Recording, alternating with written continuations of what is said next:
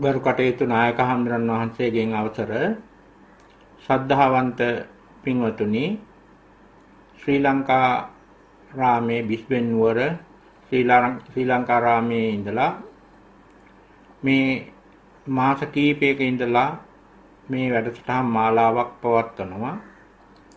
නායක හඳුරෝ ඒ ගැන මතක් කරා.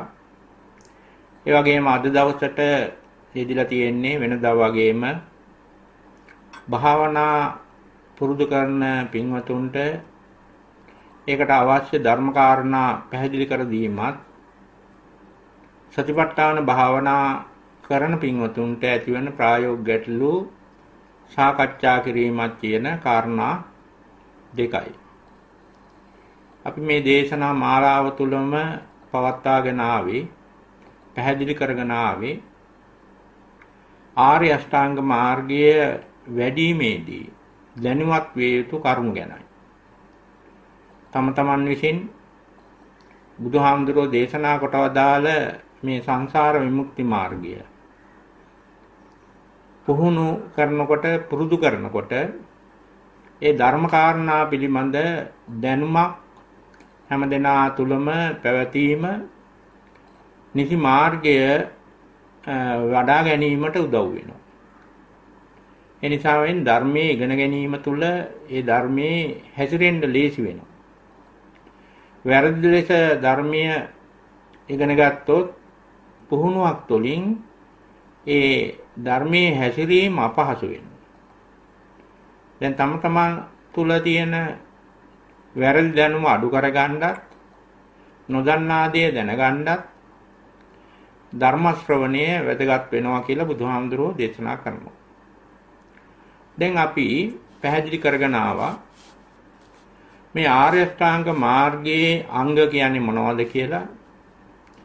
ඒ වගේ මේ අංග වැඩුණම මොන ආකාරයටද පත් වෙන්නේ කියලා? ඒ වගේම මේ අංග ධම්ම ගුණුවට අයත් වෙනවා කියලා පැහැදිලි කරා. ඒ වගේම සීල සමාධි ප්‍රඥා කියන කොටස් වලට ආරෂ්ඨාංග මාර්ගයේ අංග වෙන් කරන ආකාරය ගැන පැහැදිලි වුණා. ඒ වගේම අවසානයේ මේ ආරෂ්ඨාංග මාර්ගයේ අවසාන අංග තුන සුවිශේෂී අංග තුනක් කියලා පැහැදිලි කරා. වායාම, සති, සමාධි කියන අංග තුන. මොකද සුවිශේෂී වෙන්නේ මේ අංග තුන වෙනස් වීම අනුව තමයි. ඒ කියන්නේ උත්සාහය, සිහි කල්පනාව, එකඟකම වෙනස් වීම අනුවමයි සංසාරේ නිර්මාණය වෙන්නේ.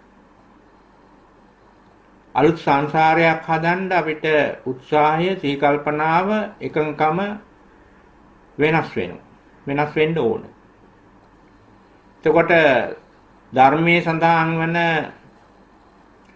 කුසලයක් කරන්න ගියත් ඒ කුසලයේ රඳාපවතින්නේ කුසලයේ සිදු වෙන්නේ උත්සාහ ඒ කුසලයේ කරන පුජ්‍යලයාගේ උත්සාහය සීකල්පනා එකඟකම් මතයි. අකුසලයක් කරන්න ගියත් ඒ විදියයි. කාමාවචර කුසලයක් ඉක්මෝලා රූපාවචර කුසලයක් කරන්න ගියත් අවශ්‍ය වෙන්නේ ඒ පුජ්‍යලයාට තමන්ගේ උත්සාහයයි සීකල්පනාවයි එකඟකමයි වෙනස් කිරීම පමණයි.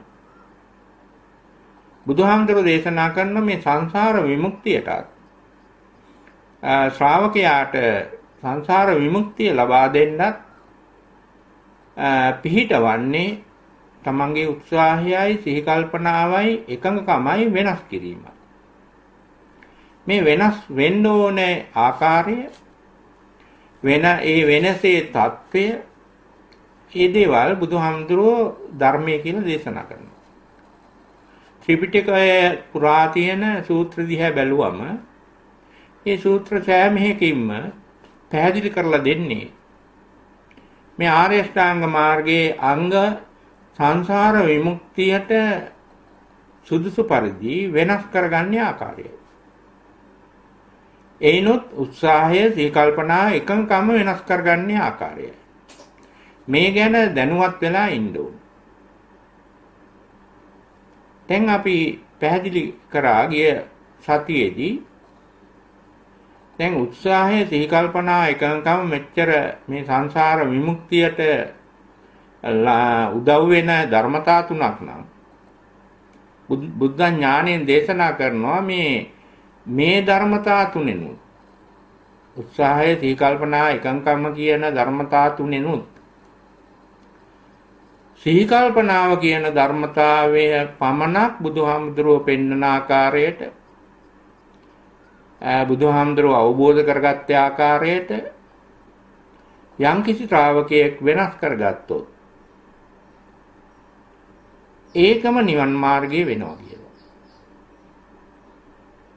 ඒ නිවන් මාර්ගයේ ඒකායනෝ අයම් බික්කවේ මග්ගෝ ආදී වශයෙන් ඔය මහා සතිපට්ඨාන සූත්‍රයේදී සතිපට්ඨාන දේශනාවක් කරන අවස්ථාවේදී පැහැදිලි කරන්න. එහෙමනම් මෙහින් මේ මේ පිළිබඳව සැලකිලිමත් වෙනකොට මේ සතිය කියන එක සිහි කල්පනාව. සිහි කල්පනාව බුදුහාමුදුරුව පෙන්නන මෙන්න මේ ආකාර හතරෙන් එකකටපත් වෙනකොට ඒ ආකාර හතර තමයි කායේ කායානුපස්සී විහෙරති. ඒ වගේම ඒකට ප්‍රතිඵලයක් තියෙනවා ගුණයක් ගන්න ඕනේ. කයෙන් කය කය කයානුව බලමින් වාසය කරන්ඩ. ආතාපි සම්පජානෝ සතිමා විනේය ලෝකේ අවිජ්ජා දෝමනස්සා. ඒ කියන්නේ මේ අවිජ්ජා දෝමනස්ස කියන සංකල්පනා වලට පැමිණෙන අකුසල් දෙක යටපත් වෙනකම් මේක තමයි සංසාර විමුක්තිය ලැබෙන සීකල්පනාව. මේක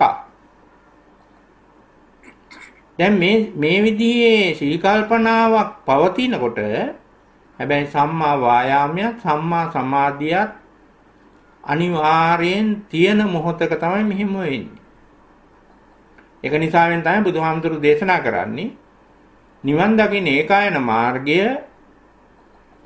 කායේ කායානුපස්සී විහෙරති ආතාපි සම්පජානෝ සතිමා විනේය ලෝකේ අ비ජ්ජා දෝමනස්ස. එහෙම නැත්නම් ශ්‍රී කල්පනා මේ විදිහට තිබුණත් දෙවෙනි ආකාරයේ තිබුණත් මේ ගුණේ තියෙනවා කියනවා. වේදනාසු වේදනානුපස්සී විහෙරති ආතාපි සම්පජානෝ සතිමා විනේය ලෝකේ අ비ජ්ජා දෝමනස්ස. තුන්වෙනි ආකාරයේ බුදුහාමුදුරෝ දේශනා කරනවා චිත්තේ චිත්තානුපස්සී විහෙරති ආතාපි සම්පජානෝ සතිමා විනේය ලෝකේ අ비ජ්ජා දෝමනස්සං කිය. එහෙමත් නැත්නම් මේ හතරක් හතරවෙනි ආකාරයකුත් දේශනා කරනවා. ධම්මේ ධම්මානුපස්සී විහෙරති ආතාපි සම්පජානෝ සතිමා විනේය ලෝකේ අවිජ්ජා දෝමනස්ස. මෙන්න මේ ಗುಣ මේ ಗುಣ හතරෙන් එකක් හෝ පවතින මොහොතක එකක් හෝ තීකල්පනාව තුල තමන්ගේ තීකල්පනාව මේ ಗುಣ එකක් හෝ තුල තියෙනකොට සංසාරයක් නෙමෙයි සකසන්නේ සංසාර විමුක්තියයි. දැන් මෙන්න මේ தত্ত্বය ශ්‍රාවකයා හඳුන ගන්න වෙන්නේ. මේක තමයි බුද්ධ දේශනාව. දැන් අපිට තියෙන්නේ තම තමන් පුරුදු කරන මේ සතිපට්ඨාන කමඨහනත් මේ ගුණයට ලං වෙනවද මේ ගුණය කරා යන මේ ගුණය ඉලක්ක කරගත්තේ කමඨහනක්ද කියලා ශ්‍රාවකයා දන්නා තරමින් තමන් කරන භාවනාව දියුණු කරගන්න ලේසියි.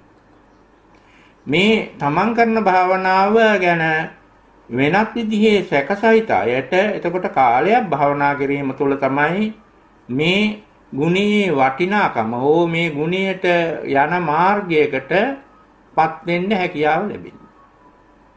ඒ නිසාවෙන් අපි මේ ගිය සතියේදී පැහැදිලි කරලා දුන්නා මේ කායේ කායानुපස්සී විහෙරති කියන පාඨයේ තියෙන වැදගත්කම අදත් ඒවම පැහැදිලි කරලා දෙනවා. ඊට පස්සේ පිළිවෙලින් වේදනාසු වේදනානුපස්සී විහෙරති කියන එකේ බුද්ධ දේශනාව අනුව පැහැදිලි කිරීමක් කරන්න බලාපොරොත්තු වෙනවා ලබන සතියේ. ඔය ආදී වශයෙන් මේ බුද්ධ දේශනාව තමන්ගේ කමටහනට මේක ධර්ම කරුණු ඉගෙන ගත්තා කියලා කමටහනක් වැඩෙන්නේ නැහැ කාටවත්. තමන් පුහුණු කරන කමටහනට මේ අනුගත වෙන්න ආකාරය තමන් හැම වෙලේම ඉගෙන ගත්තොත් ඒ කියන්නේ අවබෝධයක් ඇති කරගත්තු. මේ කරගෙන යන භාවනාව සාර්ථකව ඉදිරියට කරගෙන යන්න හැමෝටම පහසුවක් වෙනවා. හැමෝටම ලේසියක් වෙනවා. එහෙම නැත්නම් මේ ධර්මයේ වෙන වෙන දේවල් Tamanට සැකසංකය විදිලා මේ Taman කරන වටිනා පුහුණුව වටිනා දෙයක් බවට තේරෙන්නේ නැතු වෙනවා. මේක අඩුවක්. මේක අඩුවක් වෙනවා Tamanට. ඒක ධර්මයේ හැසිරෙනකොට පාඩුවක් වෙනවා. ඒ වගේම අවාසියක් වෙනවා. දැන් අපි බලමු බුද්ධ දේශනාවට අනුව මේ කායේ කායानुපස්සී විහෙරති කියන පාඨය. මෙය මෙයට එකපාරට ශ්‍රාවකයෙකුට ලං වෙන්න පුළුවන්. දැන් මේක පාලියට ගත්තම් පාලියෙන් තියෙන කායේ කායानुපස්සී විහෙරති ඒක ලේසි පද ටික නම් තියෙන විහෙරති කියන්නේ නම් වාසය කරනවා. එතකොට මේ එක පාරට එක මොහොතකට සිදුවෙන එකක් නෙමෙයි වාසය කරනවා කියන එක. ජීවිත කාලයත් එක්ක බැඳෙන දෙයක්. වාසය කිරීමක් කරන්නේ Taman දැන් උප්පත්තියේ ඉඳලා මේ දක්වා වාසය කරා. එතකොට විහෙරති කියන්නේ ඒ ගුණයටයි. එතකොට වාසය කරන්නලු කායේ කායානුපස්සී. මෙන්න මෙතන මේ pāli පාඨය සිංහල අර්ථයට ගත්තම හුඟක් අයට පැටලෙනවා. ඉතින් අර්ථ නිරුක්ත බලලා වෙලක් අය කතා කරනවා කායේ කායනුපස්සී කියන්නේ මෙන්න මේ වගේ අදහසක්. එතකොට මේ වගේ ගැඹුරක් මේකේ තියෙන්නේ මෙන්න මේ වගේ දෙයක් කියලා අර්ථකථන එනවා.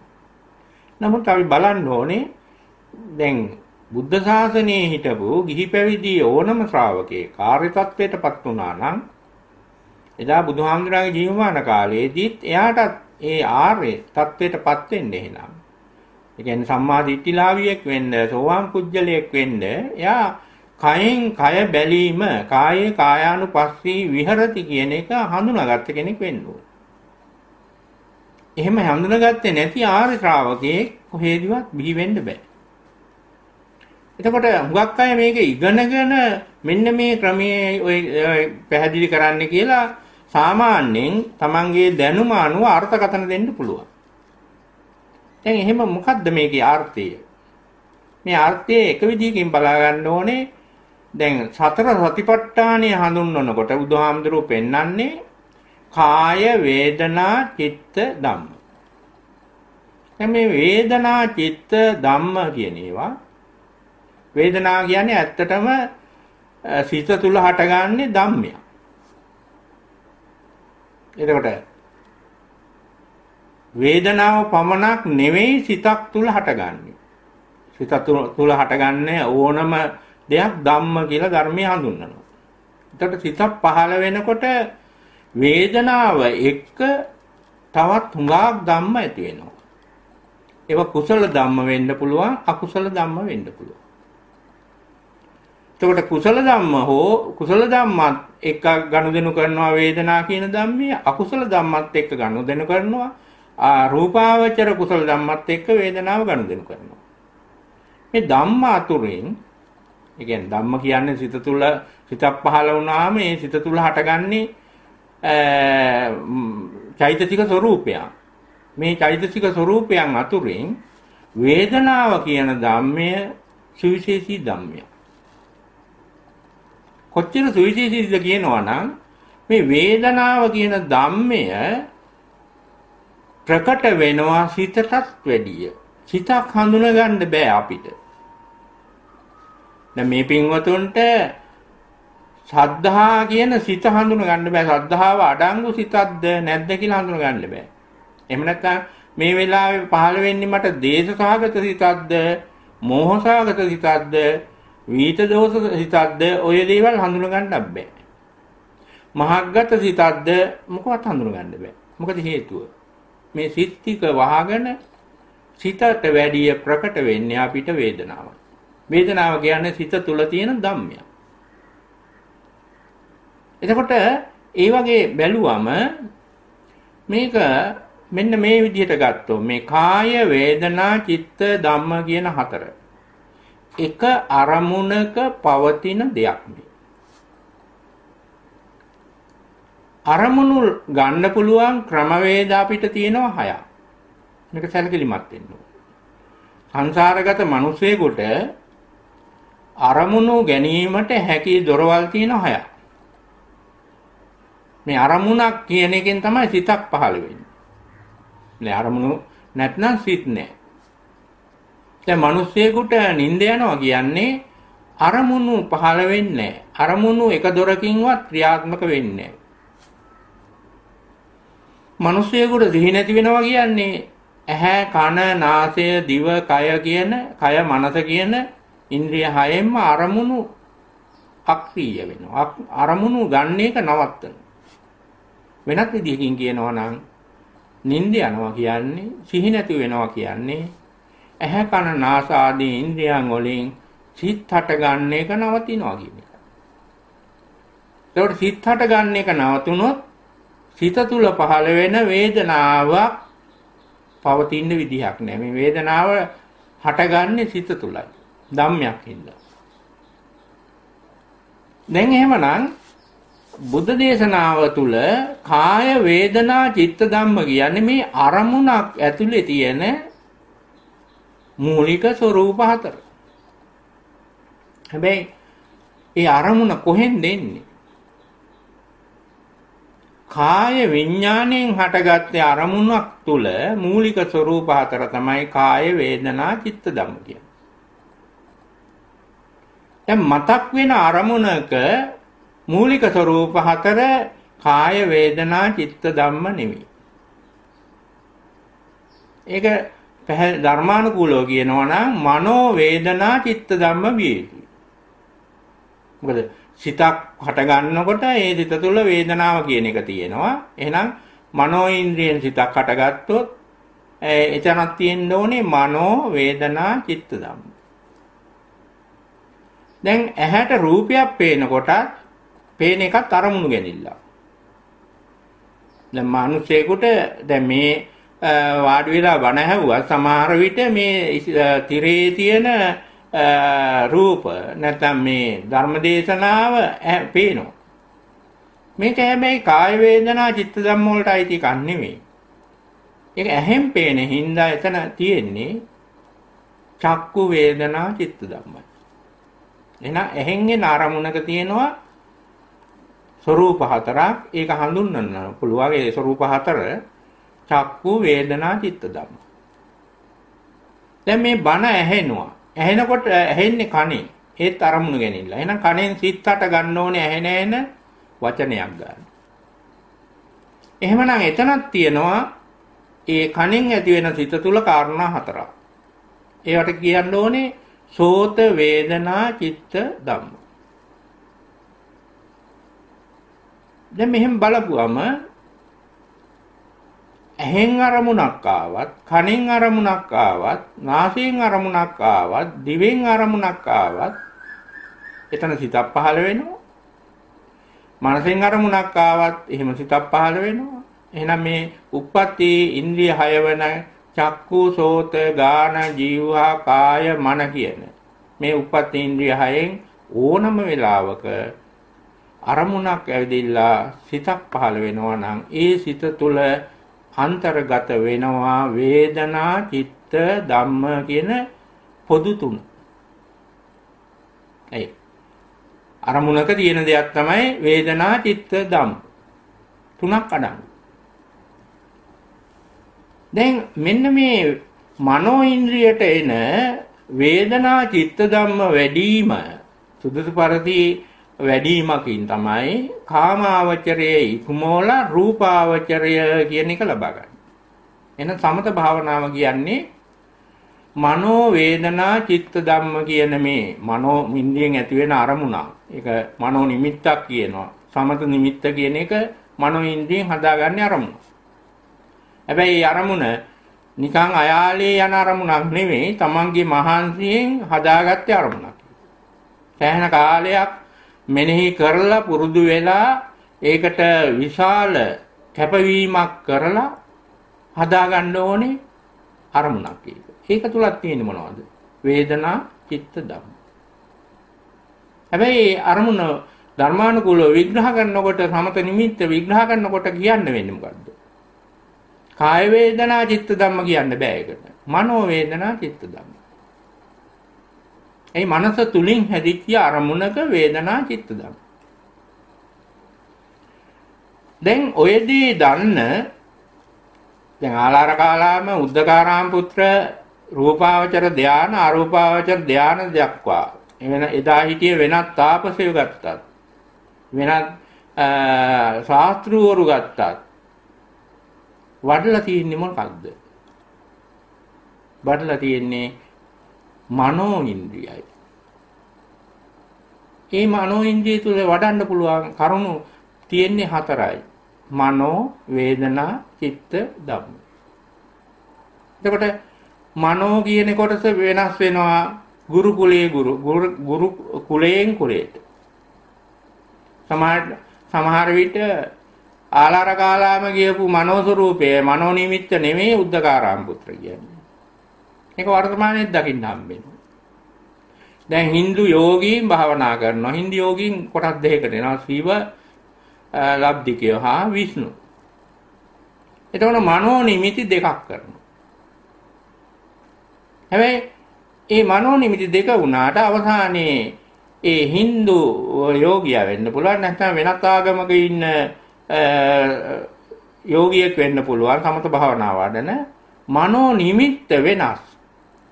නමුත් ලැබෙන භාවනාවෙන් ලබා ගන්නා වූ වේදනා චිත්ත ධම්ම එකයි. ඒ වුණාට ඒගොල්ලෝ කියනවා අපි අපි බ්‍රාහ්මණ ලැබුවා හරි මොනවා හරි වෙන දෙයක් කියනවා. මෙන්න මේකයි මේ මේ ශිවයි මේ විෂ්ණුයි මේ රූපාවචරය හෝ අරූපාවචරය ගැන විවිධ අර්ථකථන එනවා. ඒ රූපාවචරයක මොනවද තියෙන්නේ එතකොට? අරූපාවචරයක තියෙන්නේ මොනවද? මනෝ වේදනා චිත්ත ධම්ම. ඒ වේදනා ස්වરૂපය මගහැරලා චිත්ත ස්වરૂපය හා කරලා ධම්ම ස්වરૂපයට දෙන අර්ථකථන ටික තමයි ඒගොල්ලෝ පෙන්නන විමුක්තිය. දැන් බුදුහාමුදුරුවෝ එහෙම දේශනා කරන්නේ නැහැ. බුද්ධත්වයෙන් පස්සේ දේශනා කරන්නේ මේ මනෝ වේදනා චිත්ත ධම්ම වඩන්න නෙමෙයි. වඩන්න කියනවා කාය වේදනා චිත්ත ධම්ම කියන සතර සතිපට්ඨාන. මේ හතරක් මෙතන එකට ඈඳිලා තියෙනවා. කිසිම තැනක බුදුහාමුදුරුවෝ සතිපට්ඨානිය වඩන්න කියන දේශනා කරන්නේ. සූත්‍රවල බලන්න සතිපට්ඨානිය වඩන්න කියලා කොහෙදවත් බුද්ධ දේශනාවල නැහැ. බුද්ධ දේශනා හැම එකම තියෙන සතර සතිපට්ඨානිය වඩන්න. මේ මොකද මේ හතරක් කියන්නේම? මේකේ සතිපට්ඨාන හතරක්ම කියන්නේ ඇයි? එකක් වඩලා හරියන්නේ කාය වේදනා චිත්ත ධම්ම කියන ඒවා වැඩි යකි. මොකද වේදනා චිත්ත ධම්ම වඩලා තියෙනවා සමත භාවනාවේ. වේදනා චිත්ත ධම්ම කියන තුන ගත්තම සමත භාවනාවෙත් තියෙනවා. එතකොට එතන සතිපට්ඨාන තුනයි බුද්ධ දේශනාව හැම වෙලේම සතර සතිපට්ඨානෙ වඩන්නේ. සතර සතිපට්ඨානෙ හැමෝම නම් කරන්නත් ඉගෙනගෙන තියෙනවා. කායानुපස්සනාව, වේදනානුපස්සනාව, චිත්තානුපස්සනාව, ධම්මානුපස්සනාව. නමුත් ඒ අයම ටිකක් කල් භාවනා කරනකොට හදා ගන්නවා මේකේ හොඳම අනුපස්සනාව ධම්මානුපස්සනාවයි. මේකේ හොඳ මේක චිත්තානුපස්සනාවයි. මේකේ හොඳ මේක වේදනානුපස්සනාවයි. වේදනානුපස්සනාව වඩන එක තමයි ඉහළම ලේසිම විදිය. දැන් මේවා මේ වර්තමානයේ ශ්‍රාවකයෝ එතකොට තම තමන් හදාගත්තේ මතවාද. එහෙම එකක් වෙන්න බෑ. බුදුහාමුදුරු දේශනා කරන්නේ හැම වෙලෙම සතර සතිපට්ඨානෙ වඩන්න. මේක කෑලි වඩන්න බෑ. කොටස් වඩන්න බෑ. කොටස් වඩලා සංසාර විමුක්තිය ලැබෙන්නේ ශ්‍රාවකයෙක් නෑ නේද? කාය වේදනා චිත්ත ධම්මම වැඩි යුතුමයි.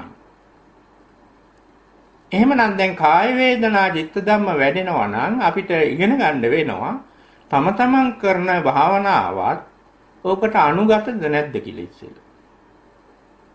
මේ කාය වේදනා චිත්ත ධම්ම වෙන්න නම් මේ සරලව දේශනා කරන්නේ බුදුහාමුදුරුවෝ කුමක්ද? ඇහෙන් එන අරමුණක් එක්ක මේ අරමුණේ ඇහෙන් එන අරමුණක ඇතිවෙන ඒ වායාම සති සමාධි කියන මේ අංග තුන සකස් කරලා නිවනක් ගන්න බෑ මුලින්. කණෙන් එන අරමුණක ඇතිවෙන වායාම සති සමාධි උත්සාහයේදී කල්පනා එකඟකම වෙනස් කරලා නිවනක් නැහැ.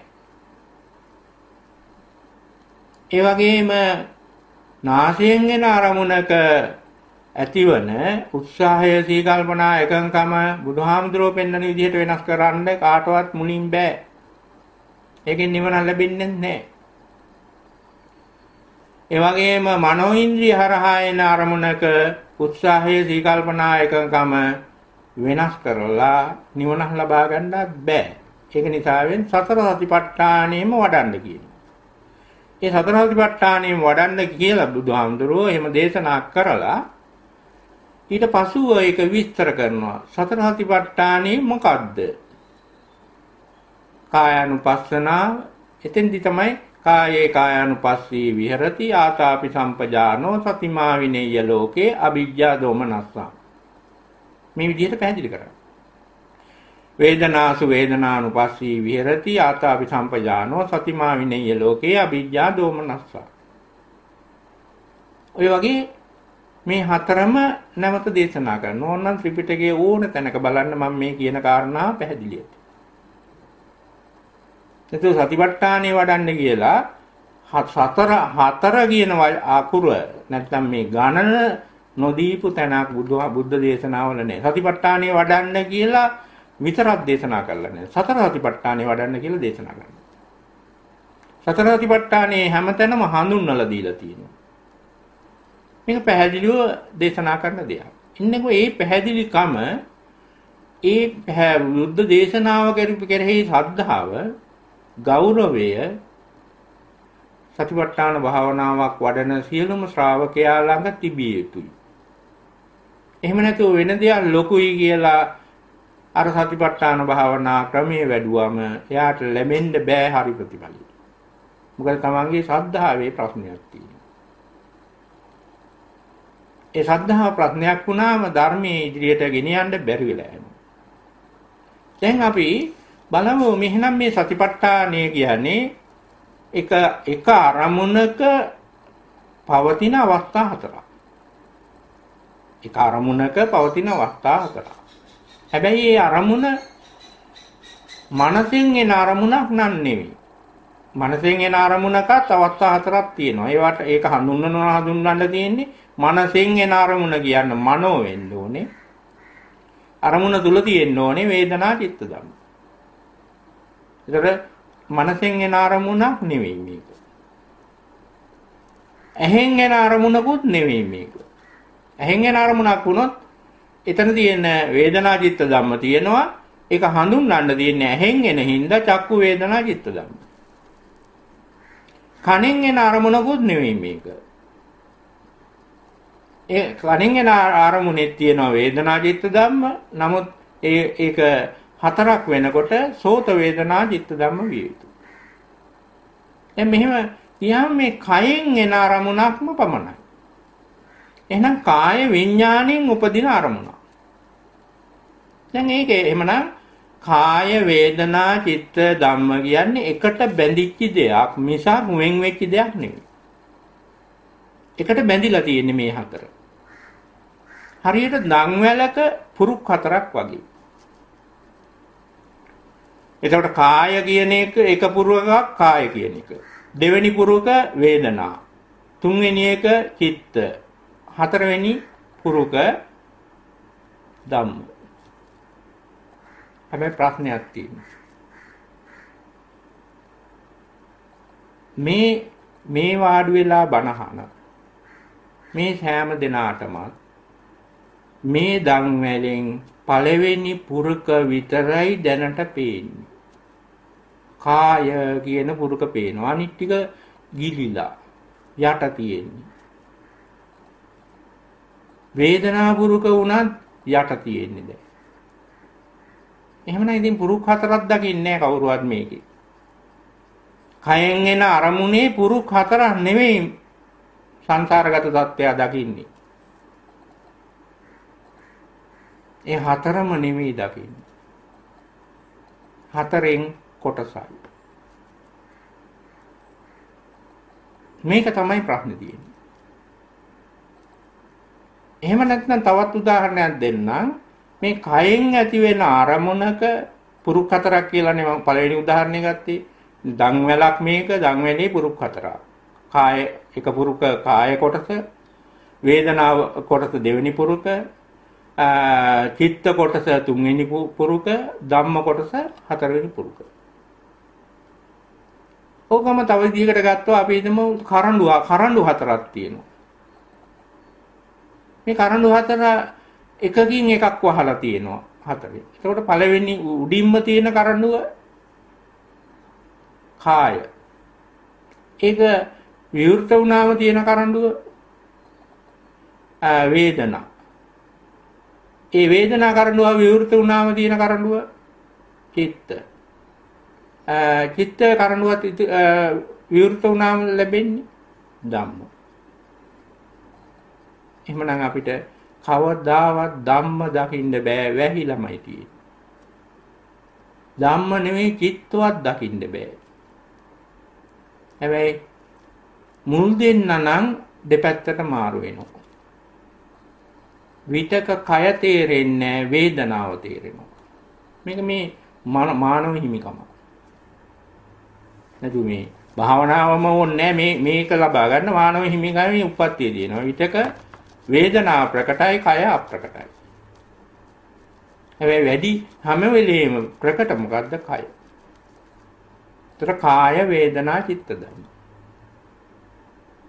තවත් මේක උදාහරණයක් විදිහට පැහැදිලි වෙන්න තවත් කිව්වොත් මේ වගේ. දැන් පන්සල් වල විහාරස්ථාන වල භාවනා මධ්‍යස්ථාන වල තියෙනවා සංඝ මේ මේ සමිති. දැන් ග්‍රාහකම තියෙන හොඳම ප්‍රබලම සමිති තමයි වර්තමානයේ තියෙන කුලගණ සමිතිය. මේ කුලගණ සමිතිය කියන එකේ සමිතියක් දකින්න නෑ කාටවත්. දකින්නේ කවුද? සමිතියේ සභාපති. සභාපති හිටියොත් අනිත් සමිතියේ සමාජිකයෝ පේන්න බෑ. පේන්නේ නෑ. ඉස්මතු වෙන්නේ නෑ. දැක්ක දැක්ක දැන තියෙන සමිතිය කියන්නේ කාටද අර සභාපතිට. නමුත් ඒකේ ඉන්නවා විශාල පිරිසක්. මොකද ඒ කැපී පෙනෙන්නේ යා. දැන් අපි හිතමු ඔය ගුලංගන සමිතියක සභාපති ලෙඩ වෙලා හරි එන්නේ සමිතිය රැස් වෙනවා. අන්න එදාට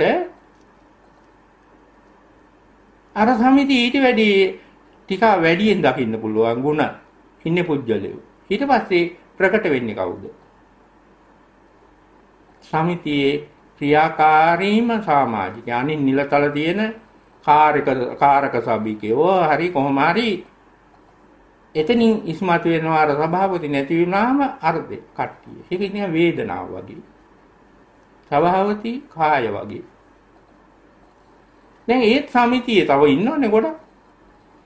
දැන් යම්කිසි සමිතියක සභාපතිත් නැතුව ඔය කාරක සභිකයෝ ඒ වගේ කට්ටියක් නැතුව ප්‍රධාන පෙළයක් නැතුව ඒ සමිතියේ පිරිස ඉන්නවා. ඒ ඒගොල්ලෝ රැස් වුණොත් එතනින් තව කට්ටියක් ඉස්මතු වෙලා පේනවා.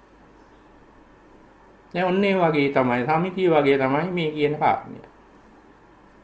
මොකද්ද? මුලින්ම ඉස්මතු වෙන්නේ කාය කායानुපස්සනාව වඩනකොට මේක දැනගෙන ඉන්න ඕනේ. සතිපට්ඨාන කමඨහනක් වඩනකොට මේක දැනගෙන ඉන්න ඕනේ. කාය කියන කොටස ඉස්මතු වෙන එක වළක්ව ගන්න එක තමයි පුහුණුවෙන් මුලින්ම කරන්නේ. කය අප්‍රකට කරනවා. කය ඉස්මතු වෙන එක අඩු කරනවා. එතකොට මොකක්ද ඉස්මතු වෙන්නේ? අර කයත් අභිභවාගෙන සාමාන්‍ය ජීවිතයේ ඉස්සරහට පයින් වේදනාවට මේක හොඳ වාසියක්. දැන් හැබැයි සතිපට්ඨානේ වඩලා ඊගාවට කරන්නේ මොකද්ද? කය කියන එකේ ඉස්මතු වීම අඩු කරනවා. වේදනාවෙත් ඉස්මතු වීම අඩු කරනවා. එතකොට මොකද්ද? ඉස්මතු වෙන්න තියෙන්නේ. ඒ කය තුලින් හටගන්නේ සිත. ඒක චිත්තානුපස්සනාව කියන්නේ ඒකයි. ඒ සිතේ තියෙන ස්වરૂප ගණනාවක් අපි පස්සේ විස්තර කරමු. දැන් කය කියන එකත් විවිධ වෙනවා. කයේ ඉස්මතු වීම දුර්වල කරගත්තොත් මේ කමටහනේ ඉස්මතු වෙන්න පටන් ගන්නවා ඒ කය තුලින් හටගන්නේ වේදනාව. මේ වේදනාවේ ස්වરૂප බුද්ධ ඥාණයෙන් දීලා තිනවා කය තුලින් හටගන්න ඕනම අරමුණක වේදනා නමයක් තියෙනවා කියලා.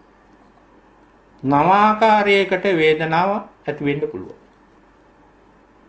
දැන් මෙන්න මේ නමයම එක වේදනාවක් නෙමෙයි නමයම ඇති වෙනවා. මේ නමයම නිරීක්ෂණයටපත් වෙන්න ඕනේ. එහෙනම් මේ කය අප්‍රකට කරගෙන කය නැති වෙලා බෑ මේකට. කය අප්‍රකට වෙලා වේදනාව ප්‍රකට වෙන අවස්ථා තියෙනවා මේ අරමුණේ. ඊට පස්සේ කයත් අප්‍රකට වෙලා වේදනාවත් අප්‍රකට වෙලා සිත් ප්‍රකට වෙන අවස්ථා තියෙනවා. තවත් මේ කමඨහන බහුලීගත වීම තුළ බුදුහාමුදුරුවෝ පෙන්වන්නේ කයත් අප්‍රකට වෙලා වේදනාවත් අප්‍රකට වෙලා සිතුත් අප්‍රකට වෙනවා නම් සිත තුල හටගන්නේ වේදනාව හැර අනිකුත් ධම්ම ටික ප්‍රකට විය යුතුයි. මේ ධම්මානුපස්සනම් කියන්නේ ඒකයි. එහෙම නැතුව මේ එක එක කෙනා පාඩම් කරලා මේක ජප කරා කියලා වැඩින එකක් නෙමෙයි. ඒ සතිපට්ඨානයේ පෙළ ගැස්ම ඉගෙනගෙන ඔය තමන් කරන කායानुපස්සනා කමඨහනක් මෝඩය වගේ වැඩුවම මේ පෙළේ යනවා. නමුත් අර තමන් හදාගන්නේ මතවාද හින්දා ඒකෙත් ටික දුරයි යන්නේ. ඊට පස්සේ වැඩෙන්නේ ඒ ධර්මයේ පිළිබඳ නොදැනීම නෙමෙයි ධර්මයේ පිළිබඳ වැරදි දැනීම. මේ ධර්මයේ තියෙන හානිය නොදන්නකම නෙමෙයි වැරදි ලෙස දැන ගැනීම. ඒ ඉස්සර බුද්ධ කාලයේදී මිනිස්සුන්ට තිබිච්ච වාසිය එකම වාසිය බොරු දන්නේ. බොරු ධර්ම දන්නේ. බුද්ධ ආගම කියලා බොරුවක් දන්නේ. වෙනේම දන්නව ඇති වෙන ආගම් දන්නව ඇති ඒක බුද්ධ ආගම නෙවෙයි. වර්තමානයේ මොකද්ද වෙලා තියෙන්නේ? අවාසිය.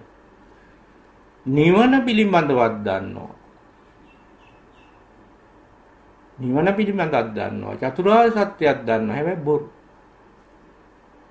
එතකොට කමඨහනකින් ලැබෙන්න බෑ මේක.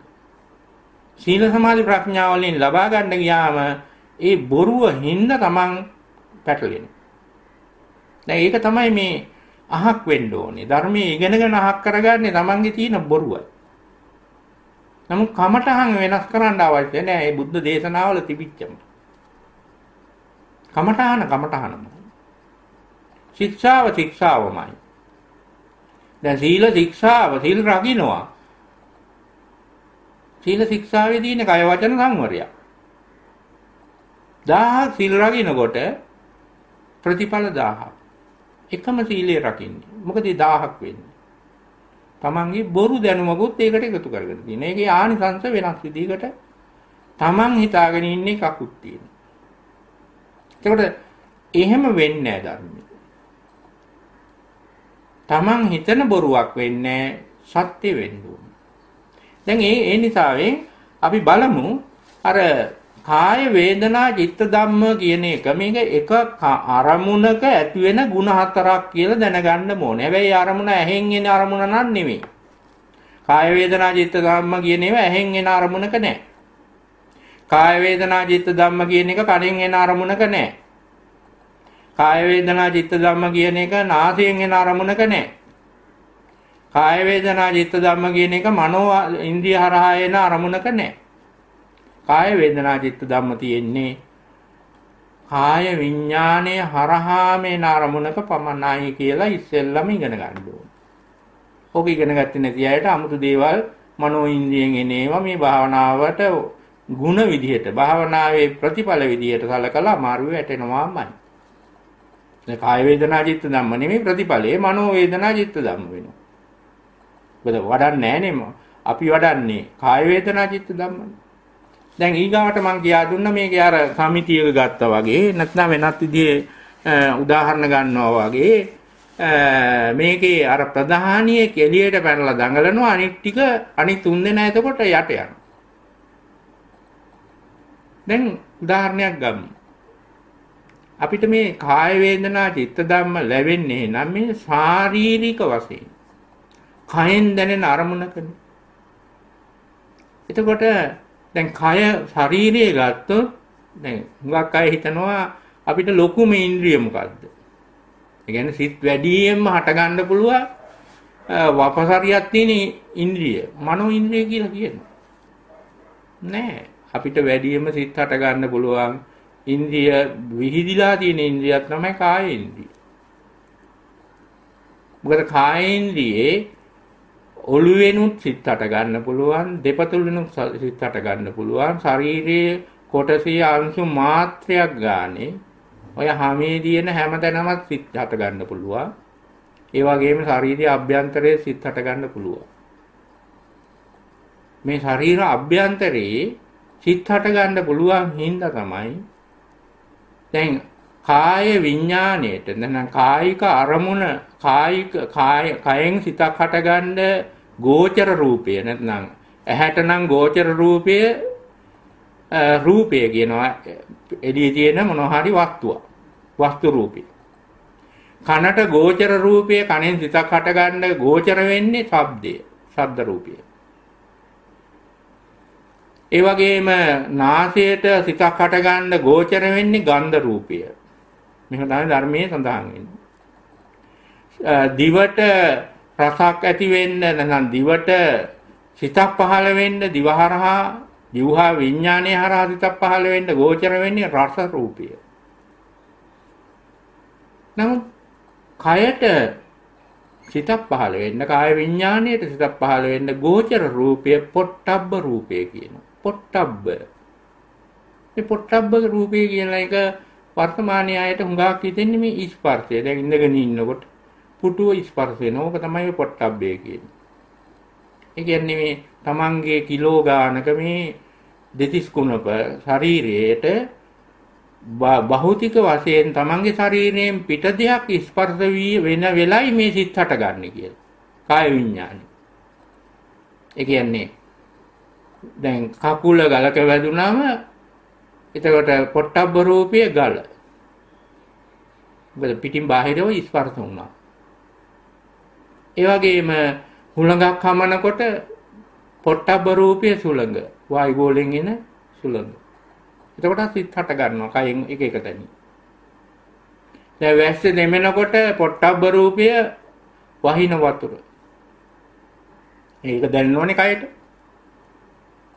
කයට දැනෙනවා නම් එතන කාය වේදනා චිත්ත ධම්ම කියන ඔය අතුලත් සිත් පහළ වෙන්න එපා. දැන් ඒක විතරද නෑ.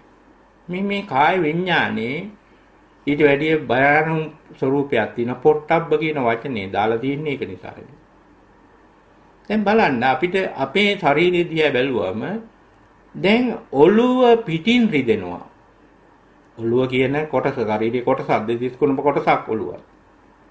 මේ පිටපැත්තෙන් රිදෙනවා. ඒක ළමයි පවා හඳුනනවා මේ ඔළුව උඩින් රිදෙනවා. පෙලක් අයට ඔළුව ඇතුලෙන් රිදෙනවා.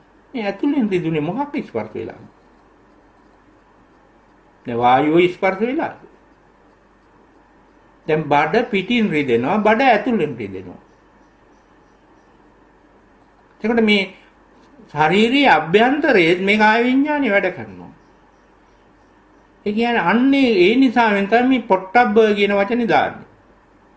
මේ පොට්ටබ්බ ස්වરૂපය ශරීර කොට එක කොටසකින් දැන් අපි හිතමුකෝ ධනිස්සට ආසන්නව තියෙන මස්පිඩු හින්දා ධනිස්ස ඒ මස්පිඩුව ධනිස්සට පොට්ටබ්බයක් වෙනවා. ඒ වගේම ධනිස්ස වදින ගලත් පොට්ටබ්බ වෙනවා.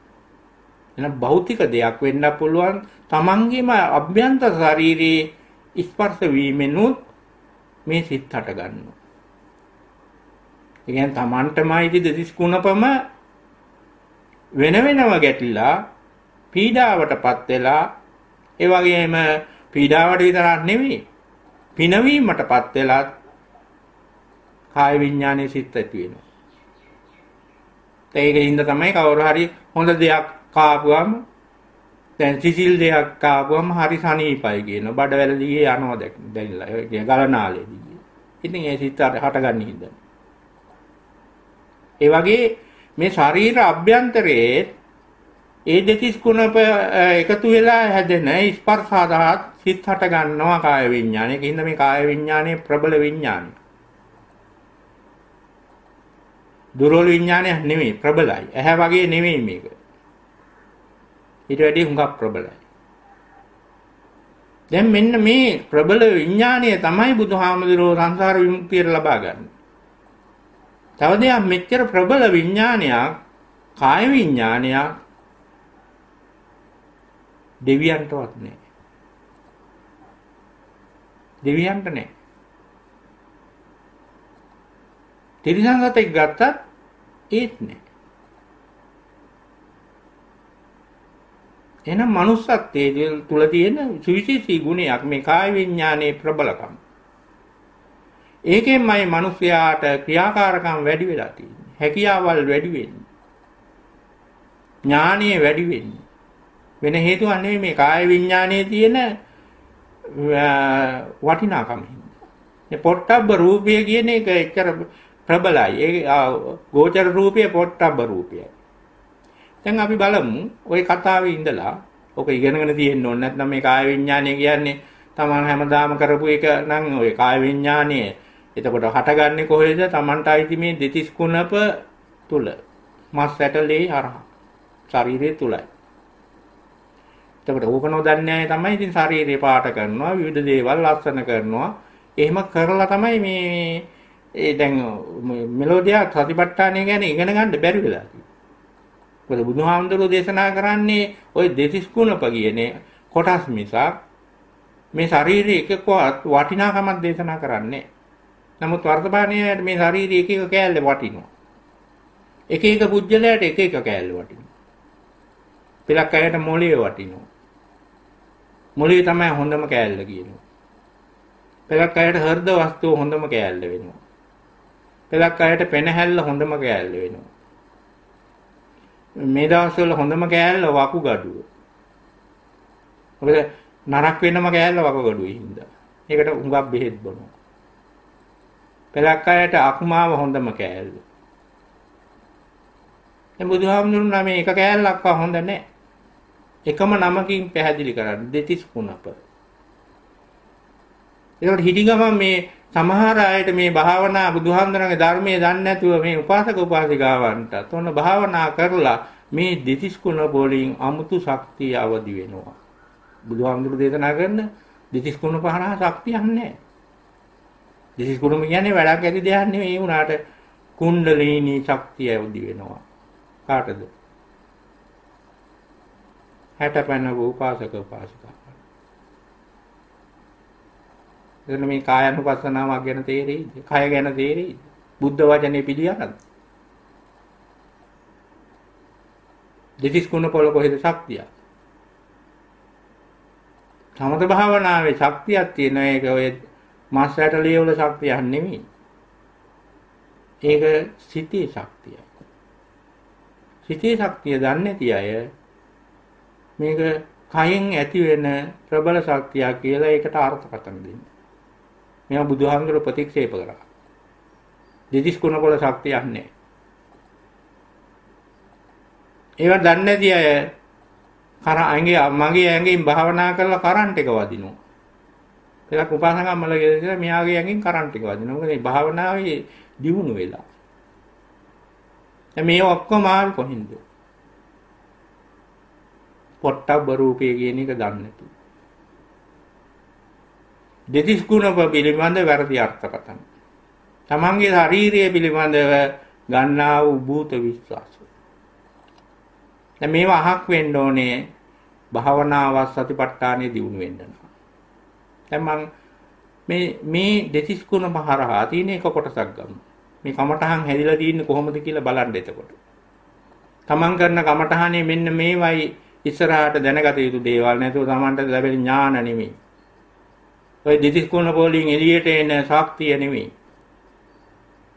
ඒවා බුදුහාමුදුරන්ට අවශ්‍ය දේවල් නෙමෙයි. ඒවා සතිපට්ඨානයේ ප්‍රතිඵල නෙමෙයි ආනිසංස නෙමෙයි. දැන් උදාහරණයක් විදිහට ගන්න දනිස්ස. දනිස්ස කියන්නේ තමාට දැන් මම මෙතන වාඩි වෙලා ඉන්න අයටත් හැමෝටම දනිස්සක් හිමි. වම් කකුලේ දනිස්සක් හිමි, දකුණු කකුලේ දනිස්සක් හිමි. දැන් අපි හිතමු කවුරු හරි මිනිහෙක් කියනවා මගේ දනිස්ස රිදෙනවා. දැන් මේ මේ දෙක ගත්තොත් ඔය කියන සතිපට්ඨානේ කරුණු දෙකක්. දනිස්ස කියන මේ කායික කොටස දෙතිස් කුණප වලින් හැදිච්ච වෙන් වෙච්ච කොටස තමයි කාය. ඒතකොට දනිස්ස කාය. රිදෙනවා කියන්නේ කාය කොටස රිදෙනවා කියන්නේ වේදනාව. දැන් රිදෙන්න එක වේදනාව. දැන් වේ එතකොට රිදෙනවා නම් දනිස්සක් ඒක වේදනාවනේ රිදෙනවා කියන්නේ අකමැති වේදනාව රිදෙනවා කියන්නේ. දුක්ඛ වේදනාව. එතකොට දුක්ඛ වේදනාව හෝ ධනිසේ සුඛ වේදනාව පහළ වෙන්න නම් මොකක්ද ඕනේ? වේදනාව පහළ වෙන්නේ සිතක් තුල. ඒ වේදනාවක් සිතක් නැතුව පහළ වෙන්න බෑ. ධම්මයක් වේදනාව කියන්නේ. එහෙනම් ධනිස්ස තිබුණේ පළියට වේදනාව තියෙනවා තියෙන්න බෑ. ධනිස්සෙන් සිතක් ඇතිවීමෙන් තමයි වේදනාව ධනිස්ස රිදෙන්නේ.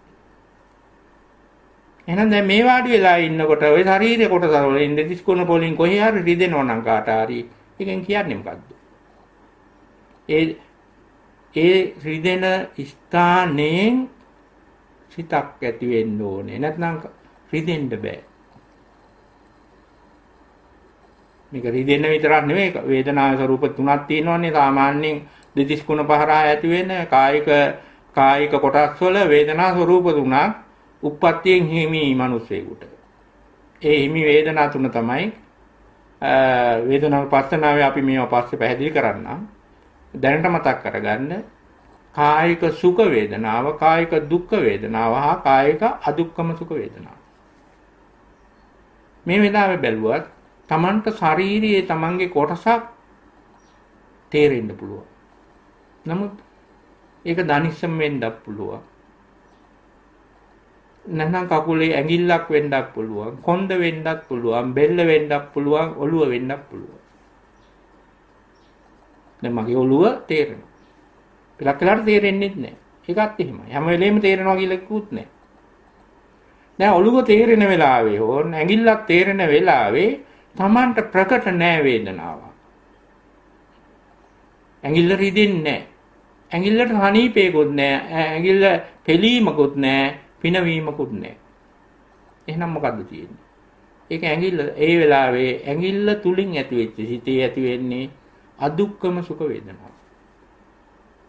එහෙනම් මේ ශරීරය තුල අපිට බොහෝ වෙලාවට තියෙන්නේ අදුක්කම සුඛ වේදනාව.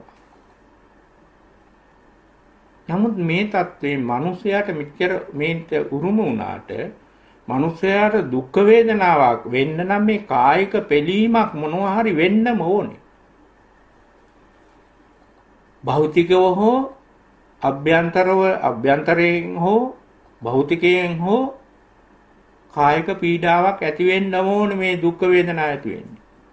නමුත් දේශනාවේ බුද්ධ දේශනාවේ සඳහන් වෙනවා සමහර പ്രേත වගේ සත්තු ඉන්නවලු උප්පත්තියේ ඉඳලා අවුරුදු කෝටි ගාණක් යනකම් එකම කායික පෙලීමක් යටතේ ජීවත් වෙලා දුක් විඳින සත්තු කියන. මනුෂ්‍යයන්ට ඒක නෑ. හැබැයි විටෙන් විට රිදෙනවා. ඒ කියන්නේ මේ ප්‍රේතයෙකුට සතිපට්ඨානෙ වඩන්න බැරි හේතුව ඒක.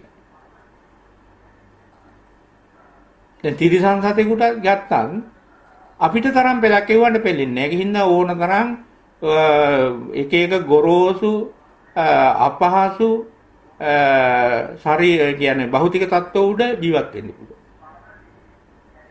දැන් මිනිස්සෙකුට පොල්ලකින් හොඳට ගැහුවා රෙදෙනවා. නමුත් හරකෙකුට අලියෙකුට ගැහුවට එච්චර රිදෙන්නේ නැහැ. ඒ කියන්නේ ඒ தත්ත්ව වල ඔරොත්තු දීමක් තියෙනවා. නමුත් එතනක් තියෙන කාය විඥානය. ඒ වගේ බලා මිනිස්සුත් හරක් වගේ ගුටි ගන්න පුරුදු වෙනවා පුහුණු වෙලා. ඒක එහෙම හදා ගන්නත් පුළුවන් මේ දෙතිස් කොණ්ඩ ටික. පුහුණු කරලා ඕන එකක් කරන්න පුළුවන්. මේ පොට්ටබ්බ රූපේ එහෙම වෙනස් වෙනවා. දැන් මේවා දැනගෙන ඉන්න ඕනේ. එහෙම දැනගෙන හිටියේ නැත්නම් Taman හිතන බොරුව අනුන්ටත් කියලා තමනුන් රැවටෙන. දැන් අපි බලමු අර ධනිස්සෙන් ඇති වෙන වේදනාව ගත්තොත් දැන් ධනිස්ස රිදෙනවා කියන තැනදී කායින් හරි ඇහුවොත් රිදෙන එකද ලොකු රිදෙන එකනේ වේදනාව කියන එක ධනිස්ස කියන එක කායනේ. ඕකෙන් ඇත්තටම කොයිකද ලොකු යාට? දැන් ධනිස්ස රිදෙනවා කොන්ද රිදෙනවා. කොන්ද රිදෙනකොට කොන්දද ලොකු වේදනාවද? මේක ප්‍රශ්නයක්. දැන් අත රිදෙනකොට අතද ලොකු වේදනාවද? මේක ප්‍රශ්නයක්. ලොකු එක තමයි ප්‍රකට. නිකන් හිතුවම නම් තේරෙන්නේ අනේ වේදනාව ධනිෂ රිදෙනකොට වේදනාවයි ලොකු කියලා අපිට නෑ කිසි මනු කිසි සත්‍යයකට ඒක වෙන්නේ නෑ වේදනාව නෙවෙයි ලොකු සා තමන්ගේ ශරීර කොටසයි ඒ කියන්නේ කාය කියන්නේ ශරීර කොටසයි මෙතන. ඒක ලොකුයි. මේක ලොකු උනේ කොහොමද? දැන් ධනිස්ස ලොකුයි අපිට. ධනිස්ස වේදනාව කියන එක ලොකු නෑ. මේ ලොකු වෙන්නේ කොහොමද? මේ ධනිස්ස කියන ශරීර කොටස උපාදාන වීම වැඩි. වේදනාව උපාදාන වීම අඩුයි.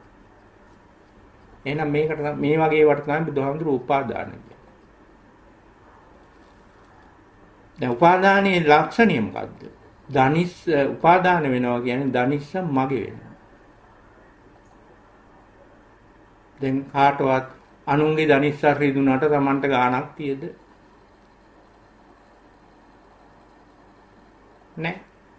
Tamanගේ ධනිස්ස රිදෙනකොට ඉවසන්න බෑ. ඒකට විවිධ දේවල් කරනවා.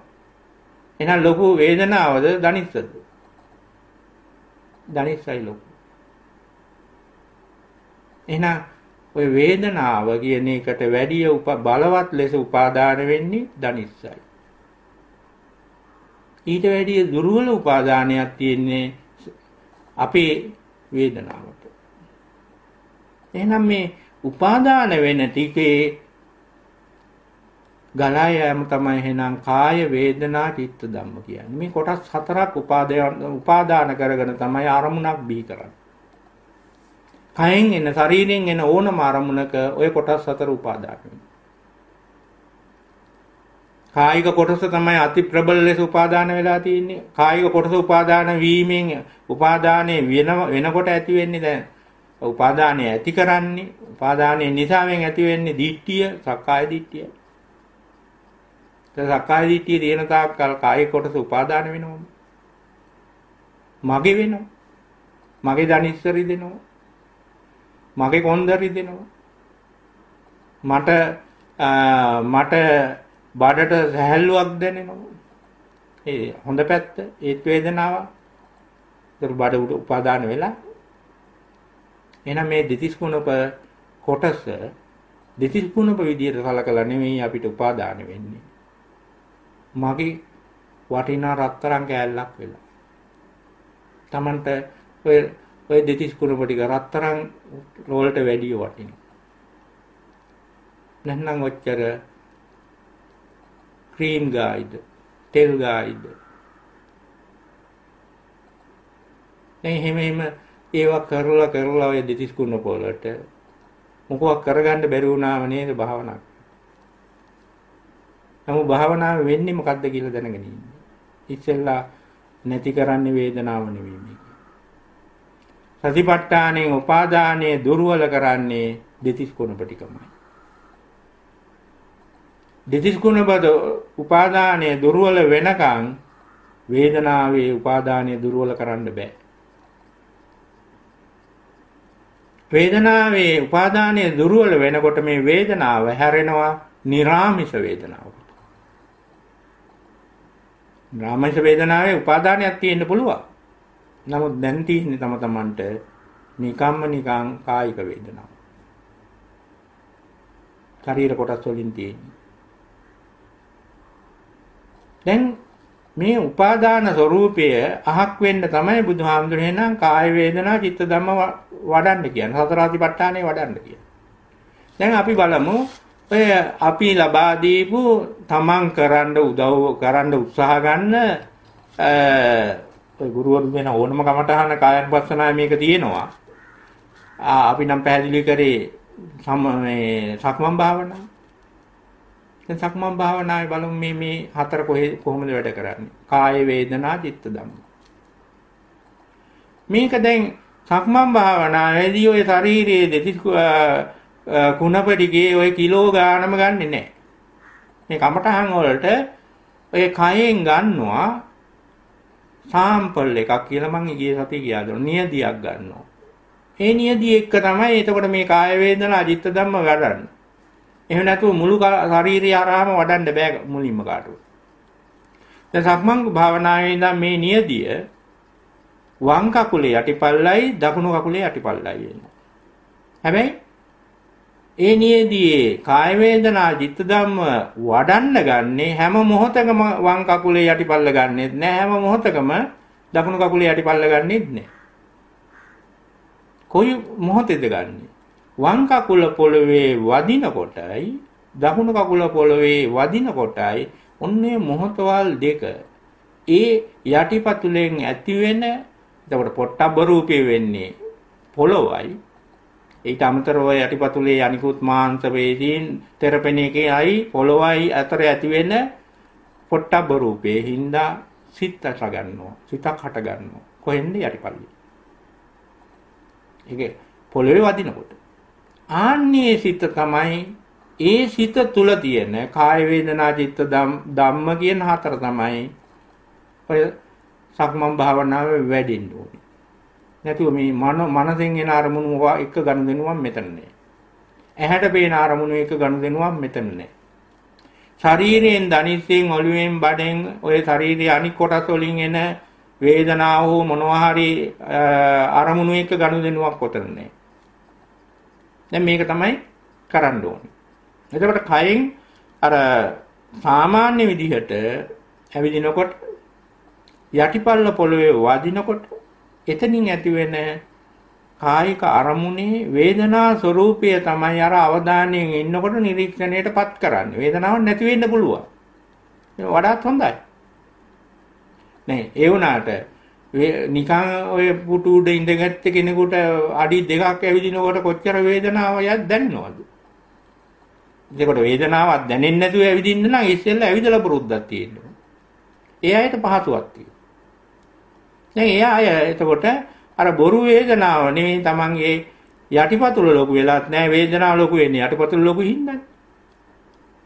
දැන් හරියා කමඨානේ ඉන්නවා. කමඨානේ සතිය පවත්නවා. සතිය පවත්වනකොට කාය කොටස එතකොට අර යටිපල්ල පොළවේ වදිනකොට ඇති වෙන දෙතිස් කොන පොළ විකෘතියයි. ඒක තමයි කාය කොටස. ඒ කාය කොටස ටිකක් කල් යනකොට මොකද වෙන්නේ? මගේ කියන සංඥාව දුරු කරන ලක්ෂණ පහළ වෙනවා. මගේ සංඥාව වුණොත් මොකද වෙන්නේ? සක්කාය දිට්ඨිය පෝෂණය වෙනවා. සක්කාය දිට්ඨිය පෝෂණය වෙන්නේ විදිහ අඩු කරනවා. අඩු කරන්න නම් මොකද්ද වෙන්න ඕන? සක්කාය දිට්ඨිය පෝෂණය වෙන එක අඩු වෙන්න නම් මගේ යටිපතුල කියන සංඥාවට දැන් අරන් තියෙන ටික නැති වෙන්න ඕන. මේක මේ කමටහන හිතලා කරන්න පුළුවන් එකක් නෙමෙයි. පුහුණු වුණාම ඉබේ වෙන එකක්. ඒකයි අර මෝඩයා වගේ කමටහන වඩන්න ඕනේ කිව්වේ. එතකොට යටිපතුල පොළවේ වදින වෙලාවේදී ටිකක් කොහොම අවධානයෙන් ඉන්නකොට මගේ සංඥාව තියෙන්න නම් මස් ඇටලේ සංඥාවක් තියෙන්න ඕනේ. මොකද මගේ යටිපතුල මගේ වෙන්නේ ඒකේ මගේ වෙච්ච හැමදාම තිබුණ මොනවද මස් ඇටලේ තමයි Tamanට තේරෙන විදිහට.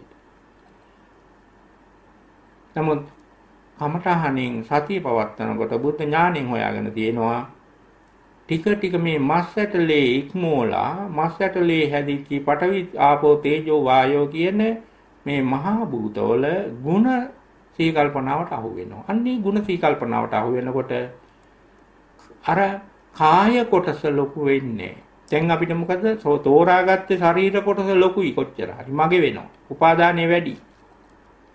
නමුත් ධාතු ගුණ ප්‍රකට වෙච්ච විශලාවක ඒ ශරීර කොටස අච්චර උපාදාන වෙන්නේ දැන් එතකොට වේදනාව ඉස්මතු වෙනවා. හරියට අර කුලංගන සමිතියේ සභාපති ඉසිරිතාලේ ඉන්න දවස වගේ. සමිතිය වෙන අය ප්‍රකට වෙනවා. මේක තමයි වෙන්නේ. හැබැයි ඒක වෙන්න නම් මොකද්ද වෙන්න ඕනේ? යටිපල්ල නැති වෙලා නෙවෙයි මේක වෙන්න ඕනේ. යටිපල්ලේ ධාතු ප්‍රකට වෙලා.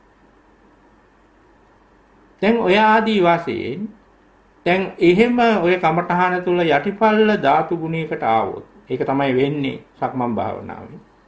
ආනාපානසති භාවනාවේ වෙන්න ඕනේ ඔය වගේ දෙයක්මයි. ආස්වාසේ ස්පර්ශ වෙන තැන පාස්වාසේ ස්පර්ශ වෙන ස්ථාන ධාතු වෙන්න ඕනේ. ඒකට කියනවා පස්සම්බයං කාය සංකාරම් කියලා.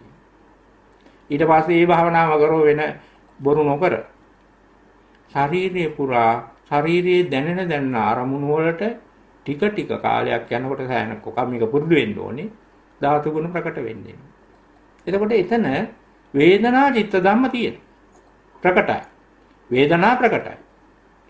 ඒ ඔය කමඨහන තව තව වඩනකොට ඒ වේදනාවලත් නිරාමිස සුඛ වේදනාව නිරාමිස දුක්ඛ වේදනාව ওই දෙකට ආවොත් අපි දෙවෙනි දේශනාවේදී ටික පැහැදිලි කරනවා.